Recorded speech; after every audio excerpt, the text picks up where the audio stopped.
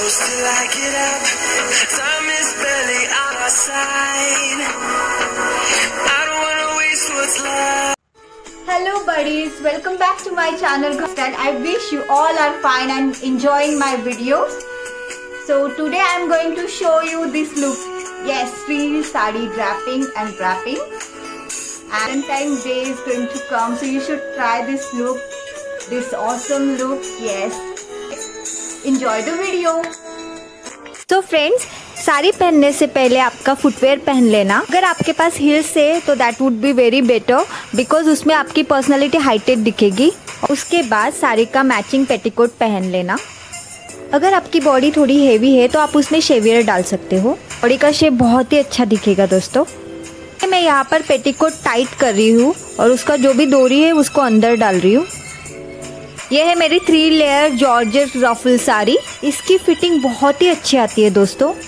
अभी मैं इसे लेफ़्ट साइड में पहले टकिंग कर रही हूँ, फिर राइट साइड में टकिंग करके इसको अच्छे से प्लेन कर रही हूँ।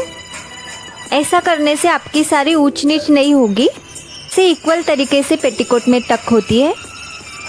अभी हम साड़ी के फैब्रिक को लेते हुए कमर के पीछे से लेते आएँगे और पल्लू को इसी तरीके से गैदर करेंगे। इसे मैं रफली गैदर कर रही हूँ। एक बार वापस राउंड लेके मैं इसे एक बार अच्छे से गैदर करके ले रही हूँ हाथ में। अभी मैं शोल्डर की प्लेट्स बना रही हूँ। ऐसे जिगजैग तरीके से प्लेट्स बनाने हैं। देखिए, ऐसे वन बाय वन अरेंज करेंगे। इसके बाद हम थोड़ा सा इसको शेक करके इसकी नीचे वाली भी वो अच्छे से प्लेट ले लेंगे हाथ में। और दोनों हाथों से पकड़ के मैं यहाँ पर अभी पिन अप कर रही हूँ, ये हमारा पल्लू। को पल्लू का जितना लेंथ रखना है, उतना आप रख सकते हो आपके हाइट के हिसाब से। फ्रेंड्स कभी भी रफल साड़ी पहनते हैं तो शोल्डर की प्लेट्स चौड़ी ना ले। अदरवाइज़ वो थोड़ी ख़राब दिखती है। बनाते हैं कमर की प्लेट्स देखिए, मैंने यहाँ से पूरा अच्छी तरीके से टक इन कर दिया है ताकि मेरी कमर की प्लेट्स अच्छे से दिखे। अभी मैं जिग्जैक वे में कमर की प्लेट एक एक इंच में, अंतर में बना रही हूँ। देखिए, उस प्रकार से। इसे नेवल के मीड में ही रखेंगे और अच्छे से टक इन कर देंगे। कि ये रफल साड़ी है तो एक एक इंच के अंतर पे प्लेट्स बनाने से उसके रफल जो है वो काफ़ी अच्छे से दिखेंगे। देखिए, बहुत ही अच्छे से फिनिशिंग और बहुत ही अच्छा कव भी आया है। अभी मैं इन प्लेट्स को अच्छे से लेके इनको अंदर से टक इन करके पिन अप कर रही हूँ, ताकि ये आप कंफर्टेबली कैरी भी कर पाएँगे, छूटेगी नहीं साड़ी। तो एक्स्ट्रा कपड़े को साइड से पीछे तरफ़ खींचते हुए लेके जाएँगे टक कर लेंगे, ताकि फिनिशिंग दिखाई दे। देखिए, कमर के पास से मैं टाइटली कपड़े को खींच के ला रही हूँ। ताकि अच्छे से फिनिशिंग आए? कितना ब्यूटीफुल एंड गॉर्जियस लुक आया है दोस्तों।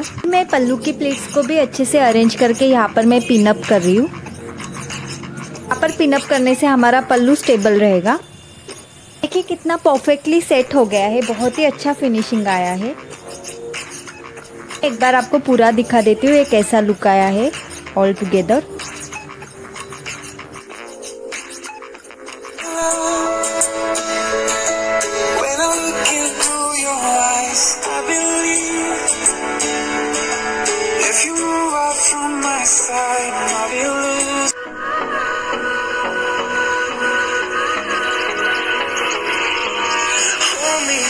till I get up. Time is barely on our side. Subscribe कीजिए घर से जवन एंड लाइफस्टाइल को और घंटे बटन को दबाइए हमारे लेटेस्ट वीडियो देखने के लिए